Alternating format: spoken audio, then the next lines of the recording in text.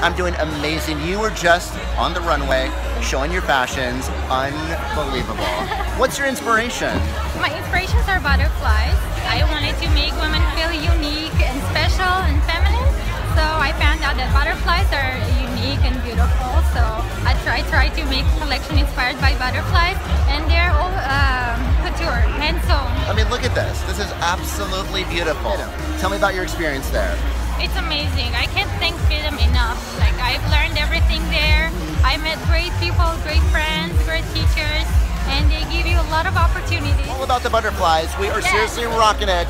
FIDM. Well, you're absolutely amazing. Seriously, your entire. This is absolutely beautiful. I'm seriously, camera does not even do justice. we are live. Thank you so much for stopping by, Thank you, of course. and thank best you. of luck. Fashion Week.